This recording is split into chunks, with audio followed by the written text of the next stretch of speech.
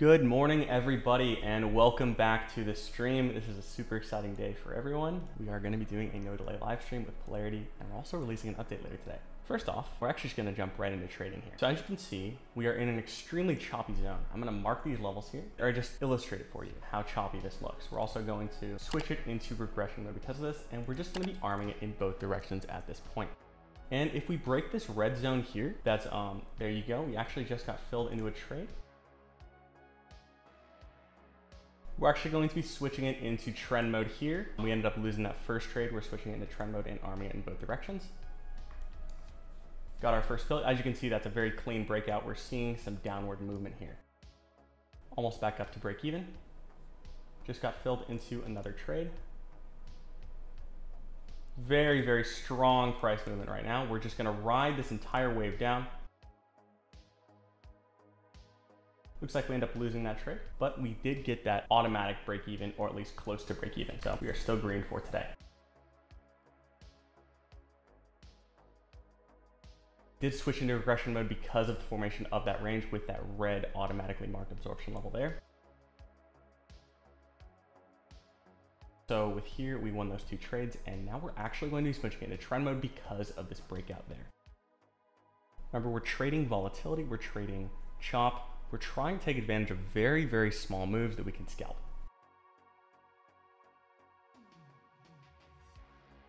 As you can see here, we're just playing the weighted game, waiting to get filled into another trade. We're going to obviously be rearming it. And if we get stopped out here, we're gonna switch it into regression mode. But of course we don't, so we end up getting filled on that and we're gonna keep it in trend mode. And obviously the reason why, if we got stopped out on that, that we switch it into regression is because we would be re-entering this range here. Looks like we get put into another trade there. And we get filled almost immediately. Looks like we're really getting some clean price action in the upward direction right now. So we're gonna try and take advantage of that if we can. And of course, guys, you can see that these two ranges up here and down here those are going to be too far apart for me to consider that a regression range. So if we consider this a regression range and price decided to move out in between these two, obviously our ATM strategy is not going to be even close to large enough to take advantage of that regression action. So we would just get chopped out. But of course, because it's large enough, we'd be keeping it in trend mode because that is quite a big movement. Awesome, looks like we got filled on that one as well. So doing pretty great. Had a little bit of a rough start there. I was getting a little nervous there, but ended up bringing it back. I'm super excited about this Polarity update. It's gonna drop at 2 p.m. PST, by the way, guys, so stay tuned on the email list and on the YouTube. We're gonna be uploading a video with an install as well as a setup guide, and we'll be sending out emails to everyone who's already purchased Polarity with instructions on how to install the strategy with the newest update and how to set it up. Also, guys, um, sorry to interrupt myself, but we are gonna be switching into regression mode here. You can see that we have had three consecutive bars of chop inside of this range, so we're going to be trying to take advantage of regressive action pretty much in between this zone. And if it breaks out on either side, of course, we're gonna be switching it into trend mode.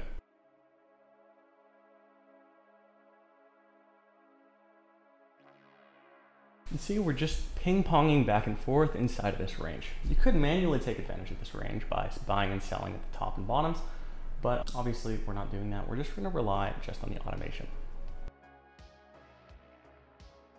We are probably going to be switching to trend mode here. And of course, we've added new hotkeys. So you don't actually have to manually move your mouse over to do those things. You can just click a simple button.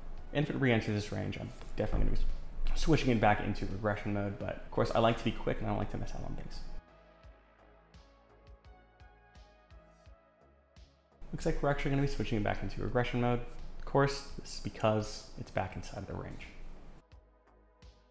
course, we are trading on NQ with four tick compression on 32 range. This means that every four ticks is one of these levels. So it's just artificially compressed to make order flow data more tradable. You'd see pretty fragmented data on each tick because NQ has kind of a small tick size compared to ES, where in ES you don't need to use tick compression, NQ you do.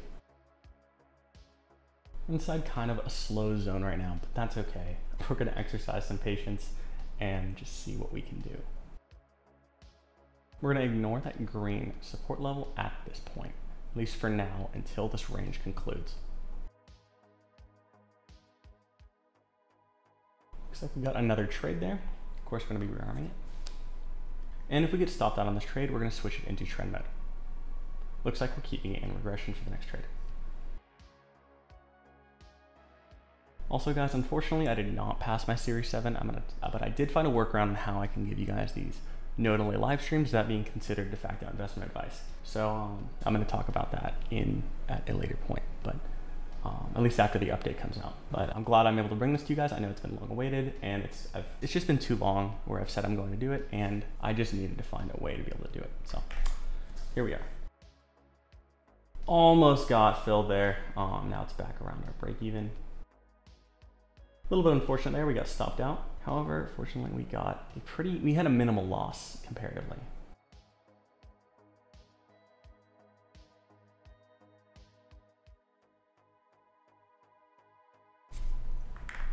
Okay, we're going to be switching into trend mode because we had a breakout on the range. Of course, we're going to be just watching and making sure this is the correct move based off of what we're seeing right now. We're gonna be rearming, and of course if we get filled, we keep it in trend mode. If we get stopped out, we put it into regression. Looks like we got filled there. Keeping it in trend mode, like I said. We're not gonna take into consideration that reverse RSI at this point, but if we actually do confirm that with a drop down here, we will. Which would mean that we would switch into regression, but if we actually get a clean breakout through it, we're not going to take it into account.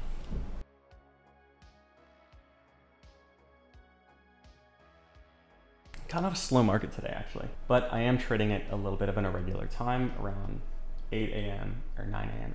EST. It looks like we got a trade there.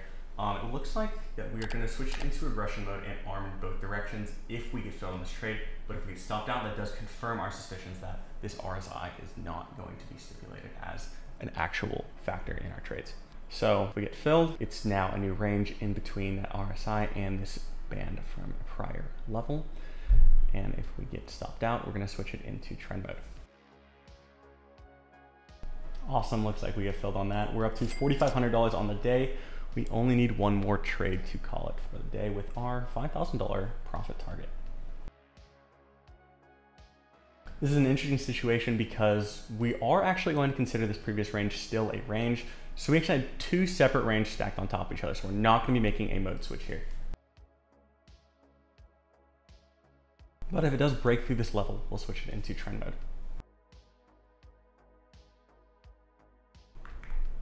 Switching it into trend mode there because we did technically get a close below that level. But now we've re-entered it, so we're gonna put it back into regression. We're in a weird little intermodal zone here, so we do have to be kind of quick with what we're doing. And we get filled there, we're gonna be rearming in both directions at this point. And that was a super quick fill there, almost instantaneous. So we got put into another trade and it'd be ideal if this worked out. Okay, so we actually technically got $5,700 on the day.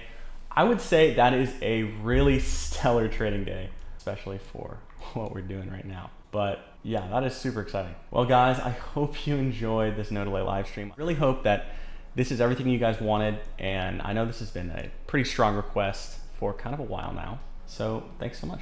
Thank you so much for tuning in, guys. I really appreciate the support you guys have given me for the past year and a half. And um, it's just an awesome experience. And I'm super glad I'm able to bring this to you guys. So leave a comment what you guys want to see next. And I will see you guys next time.